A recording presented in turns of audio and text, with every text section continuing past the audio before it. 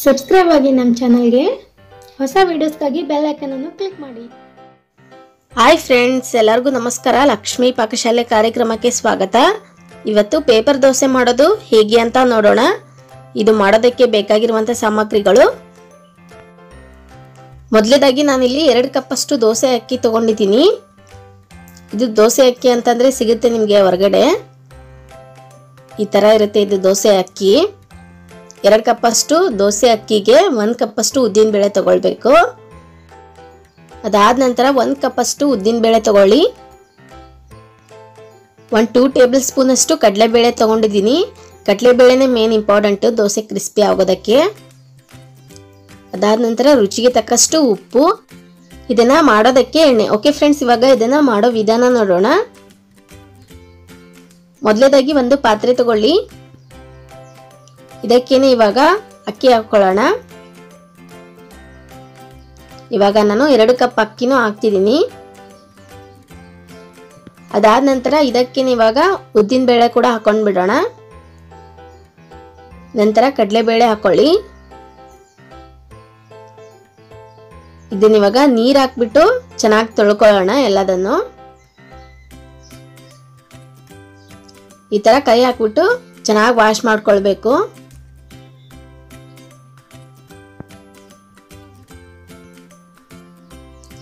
ಇದೇ ಥರ ನೀವು ಅಕ್ಕಿನ ಒಂದು ನಾಲ್ಕರಿಂದ ಐದು ಸಲ ತೊಳಿಬೇಕು ಚೆನ್ನಾಗಿ. ಈ ಅಕ್ಕಿ ತೊಳೆದ ನೀರು ಚೆಲ್ಲೋದಕ್ಕಿಂತ ನಿಮ್ಮ ಮನೆ ಮುಂದೆ ಗಿಡಗಳಿದ್ರೆ ಅದಕ್ಕೆ ಯೂಸ್ ಮಾಡಬಹುದು. ಇವಾಗ ನಾನು ಅಕ್ಕಿನ ಒಂದು ನಾಲ್ಕು ಸಲ ತೊಳೆದಿದ್ದೀನಿ ಚೆನ್ನಾಗಿ. ಇದಕ್ಕಿವಾಗ ನೀರು ಹಾಕ್ಬಿಟ್ಟು ಮೇಲ್ಗಡೆ ಮುಚ್ಚಿ ಇದನ್ನ ಒಂದು ಎಂಟರಿಂದ ಹತ್ತು ತಾಸು ನೆನೆಯಕ್ಕೆ ಇಟ್ಬಿಡೋಣ.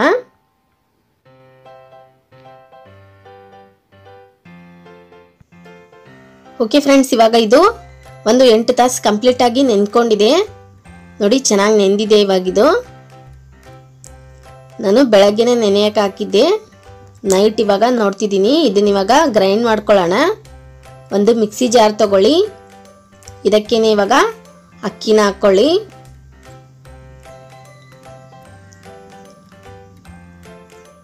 ಈ ಅಕ್ಕಿಗೇನೆ ಇವಾಗ ಒಂದು ಸ್ವಲ್ಪ ನೀರು ಆ್ಯಡ್ ಮಾಡ್ಕೊಳ್ಳೋಣ. ಒಂದು ಅರ್ಧ ಗ್ಲಾಸಷ್ಟು ನೀರು ಹಾಕ್ಕೊಳ್ಳಿ ನೀರು ಹಾಕ್ಬಿಟ್ಟಿದ್ದೀನಿ ಇವಾಗ ಗ್ರೈಂಡ್ ಮಾಡ್ಕೊಳ್ಳೋಣ. ಇವಾಗ ಒಂದು ಪಾತ್ರೆ ತಗೊಳ್ಳಿ. ಇದಕ್ಕೇನೆ ಇವಾಗ ಗ್ರೈಂಡ್ ಮಾಡಿದ್ದೀನಿ ನಾನು, ಇದನ್ನು ಹಿಟ್ಟು ಹಾಕೊಂಡ್ಬಿಡೋಣ ಇದು ಚೆನ್ನಾಗಿ ರುಬ್ಬಬೇಕು ತೀರಾ ನೈಸಾಗಿ ರುಬ್ಬಾರ್ದು. ಸ್ವಲ್ಪ ಮೀಡಿಯಮ್ ಆಗಿರಲಿ. ಮತ್ತೆ ಇವಾಗ ಉಳಿದಿದ್ದ ಅಕ್ಕಿ ಕೂಡ ಹಾಕೋತಿದ್ದೀನಿ ನಾನು. ಇದು ಕೂಡ ಇವಾಗ ಇಲ್ಲಿ ರೆಡಿಯಾಗಿದೆ ಈ ಹದಕ್ಕಿರಲಿ ಇದು. ಜಾಸ್ತಿ ನೀರು ಕೂಡ ಆಗಬಾರ್ದು ಮತ್ತೆ ಗಟ್ಟಿನೂ ಆಗಬಾರ್ದು. ಈ ಹದಕ್ಕೆ ನಾನು ಇವಾಗ ರುಬ್ಬಿಟ್ಕೊಂಡಿದ್ದೀನಿ ಹಿಟ್ಟನ್ನ. ಇದನ್ನ ಒಂದ್ಸಲ ಚೆನ್ನಾಗಿ ಕಲಿಸ್ಕೋಬೇಕು, ಮಿಕ್ಸ್ ಮಾಡ್ಕೊಳ್ಳಿ. ಇದನ್ನ ಇವಾಗ ಮೇಲ್ಗಡೆ ಮುಚ್ಚಿಬಿಟ್ಟು ಒಂದು ಹತ್ತು ತಾಸು ಬಿಟ್ಬಿಡೋಣ. ಇವಾಗ ನಾನು ಇದನ್ನ ನೈಟು ರುಬ್ಬಿದ್ದೀನಿ ಹಿಟ್ಟನ್ನ. ಇದನ್ನ ಇವಾಗ ಮಾರ್ನಿಂಗ್ ನೋಡೋಣ ನಾವು. ಇದ್ರ ಮೇಲ್ಗಡೆ ಒಂದು ವೇಟ್ ಆಗಿರೋ ಏನಾದರೂ ಸಾಮಾನು ಇಟ್ಬಿಡಿ. ಅದು ಮೇಲ್ಗಡೆ ಏನಾದರೂ ನಾವು ವೇಟ್ ಇಟ್ಟರೆ ಹಿಟ್ಟು ಚೆನ್ನಾಗಿ ಉಬ್ಬುತ್ತೆ. ಓಕೆ ಇದು ಇವಾಗ ಒಂದು ಎಂಟು ತಾಸು ಕಂಪ್ಲೀಟಾಗಿ ಆಗಿದೆ. ನೋಡೋಣ. ಇವಾಗ ನೋಡಿ, ಇದು ಹಿಟ್ಟು ಚೆನ್ನಾಗಿ ಉಬ್ಬಿದೆ. ಚೆನ್ನಾಗಿ ಕೂಡ ನೆಂದಿದೆ ಹಿಟ್ಟು.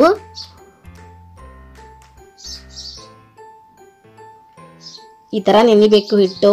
ಈ ಥರ ಚೆನ್ನಾಗಿ ನೆಂದರೆ ದೋಸೆ ಕೂಡ ಚೆನ್ನಾಗಿ ಬರುತ್ತೆ. ಒಂದ್ಸಲ ಇದನ್ನ ಚೆನ್ನಾಗಿ ಮಿಕ್ಸ್ ಮಾಡ್ಕೊಳ್ಳಿ ಈ ಥರ ಇದಕ್ಕೇನೆ ಇವಾಗ ರುಚಿಗೆ ತಕ್ಕಷ್ಟು ಉಪ್ಪು ಹಾಕೊಳ್ಳಿ. ಉಪ್ಪು ಹಾಕ್ಬಿಟ್ಟು ಮತ್ತೆ ಒಂದ್ಸಲ ಚೆನ್ನಾಗಿ ಮಿಕ್ಸ್ ಮಾಡ್ಕೊಳ್ಬೇಕು. ನಿಮಗೆ ಬೇಕಂದರೆ ನೀವು ಸೋಡಾ ಹಾಕೋಬಹುದು. ನಾನಿಲ್ಲಿ ಸೋಡಾ ಯೂಸ್ ಮಾಡ್ತಿಲ್ಲ, ಹಾಗೆ ಮಾಡ್ತಿದ್ದೀನಿ. ಈ ಹದಕ್ಕಿರಲಿ ಇದು ಹಿಟ್ಟು. ಇದಕ್ಕೆ ಮತ್ತೆ ನೀರೇನು ಸೇರಿಸ್ಕೊಳಕ್ಕೆ ಹೋಗ್ಬಾರ್ದು, ಇಷ್ಟೇ ಇರಲಿ ಇದು ಹಿಟ್ಟು. ಇವಾಗ ಇದನ್ನು ಮಾಡೋ ವಿಧಾನ ನೋಡೋಣ. ಇವಾಗ ಗ್ಯಾಸ್ ಆನ್ ಮಾಡ್ಕೊಂಬಿಟ್ಟು ಒಂದು ದೋಸೆ ಹಂಚಿಟ್ಕೊಂಡಿದ್ದೀನಿ ನಾನು.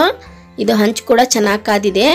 ದೋಸೆ ಹಾಕೋಬೇಕಾದ್ರೆ ಒಂದ್ಸಲ ಚೆನ್ನಾಗಿ ಹಿಟ್ಟಿನ ಈ ಥರ ಮಿಕ್ಸ್ ಮಾಡಿಬಿಟ್ಟು ದೋಸೆ ಹಾಕ್ಕೊಳ್ಳಿ ನಾನಿಲ್ಲಿ ನಾನ್ ಸ್ಟಿಕ್ ಪ್ಯಾನ್ ಯೂಸ್ ಮಾಡ್ತಿದ್ದೀನಿ. ನಿಮಗೆ ಬೇಕಂದರೆ ಯಾವುದ್ರಲ್ಲಿ ಕೂಡ ಮಾಡ್ಕೊಳ್ಬಹುದು. ಬೀಡ್ ಹಂಚಿನಲ್ಲೂ ಕೂಡ ಬರುತ್ತೆ ಇದು.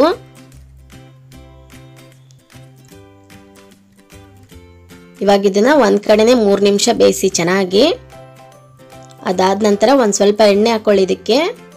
ಒಂದೂವರೆ ಟೇಬಲ್ ಸ್ಪೂನ್ ಅಷ್ಟು ಎಣ್ಣೆ ಹಾಕ್ಬಿಟ್ಟು ಚೆನ್ನಾಗಿ ದೋಸೆಗೆಲ್ಲ ಸವರ್ಕೊಳ್ಬೇಕು.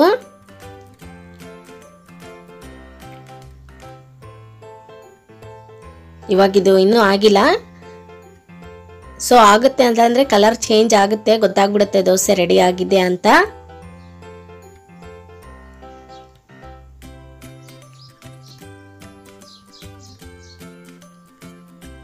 ಮೇಲ್ಗಡೆ ಎಲ್ಲ ಸ್ವಲ್ಪ ರೆಡ್ ಕಲರ್ ಬರುತ್ತೆ ಅದು. ಓಕೆ ನೋಡಿ, ಇವಾಗ ಇದು ರೆಡಿ ಆಗಿದೆ.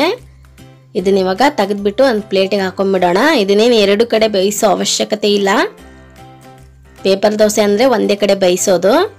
ಇವಾಗ ನಾನು ಇಲ್ಲಿ ಎರಡನೇ ದೋಸೆ ಕೂಡ ಹಾಕೋತಿದ್ದೀನಿ. ಇದಕ್ಕೆ ಎಣ್ಣೆ ಗಿಣ್ಣೆ ಹಚ್ಚಿ ಹಾಕಕ್ಕೆ ಹೋಗ್ಬಾರ್ದು. ಸೊ ಹಂಗೆ ಹಾಕ್ಕೊಳ್ಳಿ ದೋಸೆನ. ಹಂಗೆ ಹಾಕಿದ್ರೇ ಅದು ಕ್ರಿಸ್ಪಿಯಾಗಿ ಬರುತ್ತೆ.